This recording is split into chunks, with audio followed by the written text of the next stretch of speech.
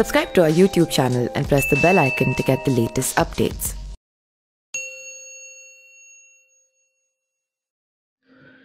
जौनपुर के इनामी बदमाश और पूर्व सांसद धनंजय सिंह भगौड़ा घोषित हैं। यूपी पुलिस पाँच महीने से उनकी तलाश कर रही है, लेकिन वो खुलेआम घूम रहा है। यहाँ तक कि सार्वजनिक कार्यक्रमों में भी शामिल हो रहा है। रविवार को धनंजय सिंह जौनपुर एसपी आवास से मात्र 300 मीटर दूर उमानाथ सिंह स्टेडियम में क्रिकेट मैच देखते नज़र आए। यही नहीं, उसने स्टेडियम में मैच का उद्घाटन किया और मैच खत्म होने के बाद खिलाड़ियों को इनाम भी दिया। इसके बावजूद पुलिस उसे पकड़ तक नहीं पाई दरअसल लखनऊ के बहुचर्चित अजीत सिंह हत्याकांड में जौनपुर के पूर्व सांसद धनंजय सिंह का नाम शामिल है। इस मामले में पुलिस ने धनंजय सिंह पर पच्चीस हज़ार रुपए का इनाम भी घोषित किया है। कुर्की तक आदेश भी हो चुका है। पिछले कई महीनों में पुलिस ने धनंजय सिंह की तलाश में उनके घर पर छापेमारी की, लेकिन ये महज औपचारिकता थी। रविवार दोपहर भी वह धड़ल्ले से मैच देखता रहा, लेकिन यूपी पुलिस इतनी मुस्तैद है कि उसे भनक तक नहीं लगी।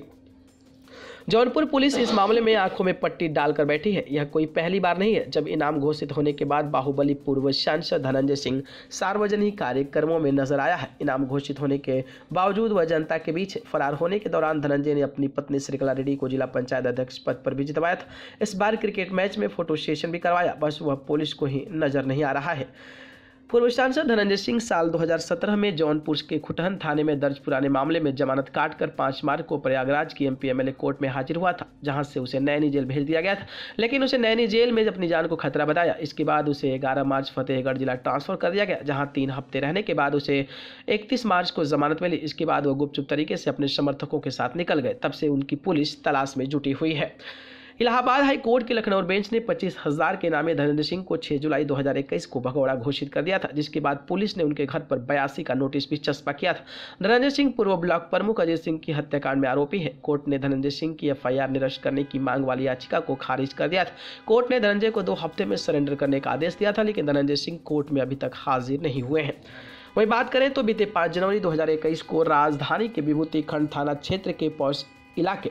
कठौता चौराहे पर मऊ ज़िले के पूर्व ब्लॉक प्रमुख अजीत सिंह की गोली मारकर हत्या कर दी गई थी। इस दौरान अजीत का साथी मोहर सिंह व एक फ़ूड डिलीवरी कंपनी का कर्मचारी घायल हुआ था। इस प्रकरण में आजमगढ़ के बाहुबली कुंटू सिंह, अखंड सिंह के अलावा गिरधारी के खिलाफ नामजद एफ़ दर्ज की गई थी। पुलिस ने इस शूटआउट में तीन मददगारों को दबोचा था, जबकि शूटर संदीप सिंह को भी पकड़ा जा चुका है। पुलिस की जाँच में सामने आया था कि रंगदारी और रजत शुक्ले का धनंजय सिंह ने हत्या करवाई है। पुलिस ने इस मामले में मुख्य शूटर गिरधारी उर्फ़ कन्हैया को पुलिस ने मुठभेड़ मारता था। वही ध्रुव सिंह अखंड सिंह, संदीप सिंह, बाबा मुस्तफ़ा उर्फ़ बंटी, राजेश तोमर, शिवेंद्र उर्फ़ अंकुर अपराधियों की मदद करने वाले बंधन सिंह, प्रेम सिंह और रेहान को गिरफ़्तार किया।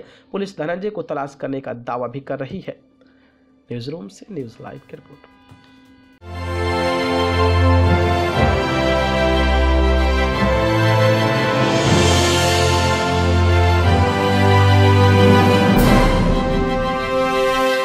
Subscribe to our YouTube channel and press the bell icon to get the latest updates.